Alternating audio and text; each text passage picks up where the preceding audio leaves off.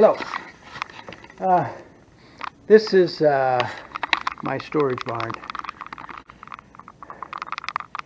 And today I have acquired this.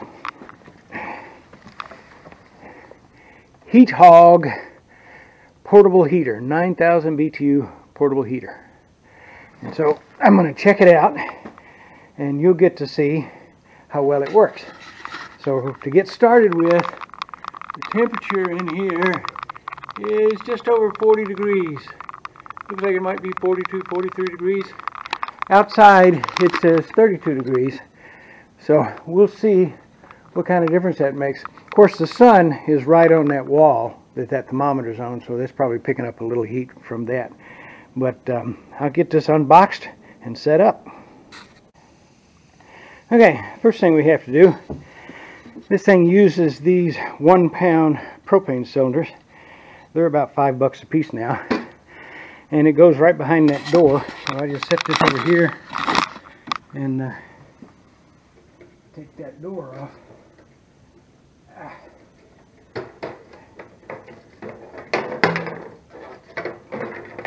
Well, I don't care for that a lot.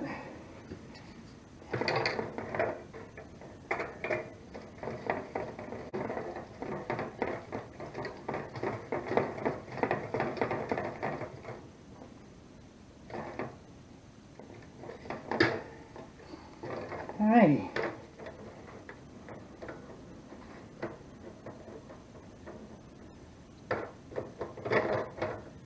Well, I am really dissatisfied with this door. It, uh, it is neither easy to open or easy to close. Alright, just leave that way it is. Okay, now come over here. Let me turn that around back this way. Okay, come over here. There's the on off switch.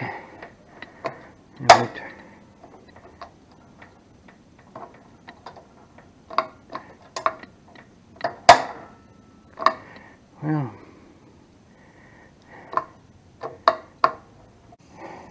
okay, I feel like a dope, well, which is not unusual.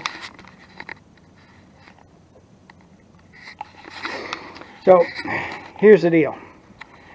You push it, and you turn it and it lights and then you hold it down until it heats up the little protection thing which is so common on every one of these heaters that no matter where they're at I just forgot and then you can lift it up and then you can turn it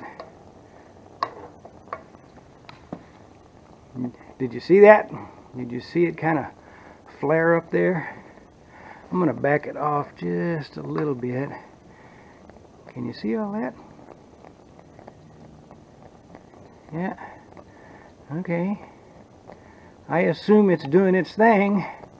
Let's give it a few minutes. Alright. It took it about five minutes to reach that glowing stage. And I set the gas on half until it began to glow a little bit and then I turned it all the way up. And uh, getting some generous heat out of it now and I can already feel it. Well standing right in front of it I can feel it being a little more comfortable. So we'll see how it goes. Okay this little guy's been running for 45 minutes and uh, it, it feels pretty nice if you're close to it and the, the whole thing is, is warm and there's heat coming from it. It, um, but it has made little difference in this 30 foot by 30 foot pole barn with 10 foot, 12 foot ceilings. So, and I, I really didn't expect that it would do that much in the barn. But it, it, like I said, right here close by, if I needed to set up a bench here and do some work in the barn, I could do that and be comfortable um, reasonably close to this thing. So I, I, say it's a good deal. The only, only complaint I have is that goofy door. It, uh, it's hard to get off and hard to put on.